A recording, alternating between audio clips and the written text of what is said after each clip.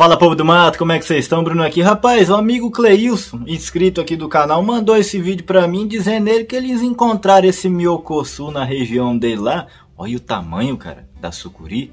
É muito grande, hein?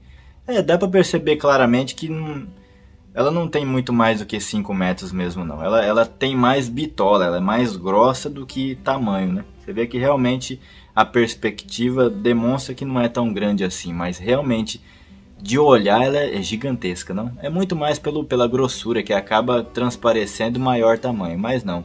Ela deve que já estava num estágio bem avançado de decomposição de algum animal que já estava na sua barriga, que ela, com certeza uma capivara, um catitu, um queixado, algum animal desse porte, né? Que ela tinha se alimentado e já estava em processo bem avançado dentro da barriga dela, né?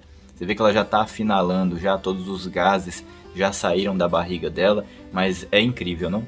Eu não sei de fato se eles mataram o animal, não sei. Eu, um outro rapaz mandou para mim dizendo que mataram e que mediram deu 5 metros e 60 e pouco. Não sei. Não sei averiguar se mataram ou não. Tanto é que eu nem borrei o rosto das pessoas, né? Porque eu acredito que não mataram, mas não sei. Vou deixar para vocês verem o vídeo na íntegra, é bem curtinho e já já nós conversa mais um pouco. Trema. Vamos tirar ela aí. É, a bicha é pequena, só uns 80 metros. Cara, eu nunca vi uma bicha tão grande desse tamanho. Rapaz do céu, como diz um amigo meu, é de arrupiar os pelos do corpo tudinho, homem, velho. Nossa senhora, a gente não consegue entender a magnitude de um animal desse, né? É muito estranho, é estranho pra gente. Vou contar um, um relato para vocês. Eu tenho para mim e, e, muitas pessoas também, eu já conversei sobre esse assunto, não tenho, não tenho nenhum estudo, mas eu tenho para mim que esse animal aumentou na natureza. É certo, é claro, que sempre que o homem encontra um animal desse de grande porte como essa aí, o homem geralmente, totalmente, geralmente ele mata o animal. Isso é fato. Mas é tantos relatos, né? Todo dia aparece um relato diferente de sucuri. Todo dia. Ah, uma sucuri que pegou uma capivara, uma sucuri que pegou um cachorro. Eu não estou dizendo isso para abater, para justificar o abate, mas eu só estou dizendo isso porque geralmente você escuta muito essa narrativa que esse animal está acabando na natureza e tal, mas eu acho que não, não está não. Mas vamos para o relato. É, tem um amigo meu que mora em Barra do Garças, perto de Barra do Garças, aqui no Mato Grosso, e ele já perdeu 6 mil reais, em torno de 6 mil reais, com porcos que uma sucuri, uma ou várias sucuris pegaram. Lá a propriedade tem dois brejos, um brejo mais à frente, um alagado mais à frente e atrás também, um outro alagado. Ele cria porcos soltos e geralmente esses porcos vão para os brejos, né, para ficar fuçando lá no brejo.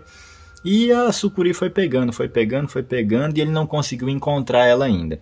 Ele não quer abater a sucuri, só que ele, olha para vocês verem como que funciona. Ele já foi atrás de órgãos ambientais para tentar ver como é que vai fazer, como é que realoca esse animal, tira de lá, porque ele cria os animais dele soltos para poder economizar no milho, né? E os órgãos ambientais, infelizmente, dizem para ele que só vão lá se encontrarem um animal. E geralmente, se você encontrar o animal, o animal vai ter abatido alguma coisa, né? Porque você não vai encontrar ele sem ser da forma que foi encontrado esse outro aí, com é, ela com a barriga cheia, né? Então ele vai ter que esperar a sucuri pegar outro porco dele para o órgão ambiental ir lá. Ele vai ter que ter mais um prejuízo. Sim, é o habitat natural do animal, mas como é que fica? Como é que fica o produtor, né? É isso que eu fico eu fico intrigado com essas coisas. É, nunca dão uma solução boa para o produtor, né? Só dão uma solução ruim para ele. Eu acho que por isso que eu, eu, eu, eu não quero que as pessoas matem esse animal, mas acho que é por isso que geralmente matam, porque não, eles ficam sem ação, né? Claro, tem muitas pessoas que matam só de ver, viu o animal lá já mata, por pura maldade, né? Mas também tem o fato de alguns animais desses também darem muito prejuízo para os produtores, né? Então é, é, um dos vários relatos que se tem, né? Você vê, o cara já perdeu 6 mil reais em porco.